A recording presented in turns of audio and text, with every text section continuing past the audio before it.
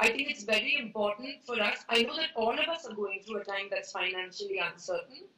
You, me, everyone. It doesn't matter of which strata. But there are people who are in way dire circumstances, dire straits compared to us, you know. And, and everything that you do, every thought, every organization or NGO, anything that you can associate with, with the cause that you care about, it could be, you know, for the migrant workers, it could be for farmers, it could be for mental health, it could be for orphanages, whatever it is, I think it's very important that people take the time to care for one another. So kindness, as I said.